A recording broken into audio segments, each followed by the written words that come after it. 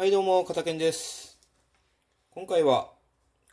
この刺身包丁、裏すきを直していこうかなと思います。えっ、と、ライブ配信を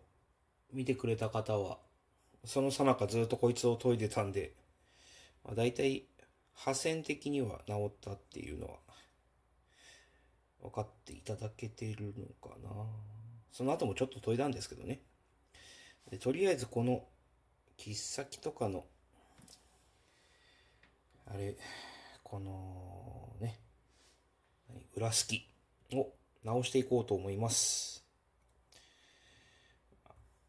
普通は普通はうん普通はそのちっちゃな砥石とかでゴリゴリと地道に削っていくもんなんですけどまあちょっとそういうちっちゃい砥石とか持ってないですし前回のやつだとあの旋盤の砥石を縦にしてこうやって研いでたんですけどやりづらくてですね。ちょっとあまり良くはないと思いますけど。こいつで。縁を削っていこうかなと。ただその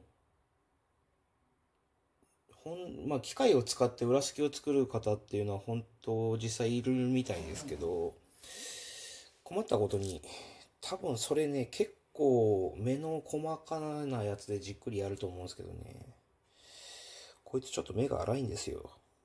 だからちょっと音がギーって言ってるかな。まあその辺は加減しながら焼き戻りとかも起きないようにして、えー、ちょっとずつちょっとずつ修正していこうかなと思います。では、始めます。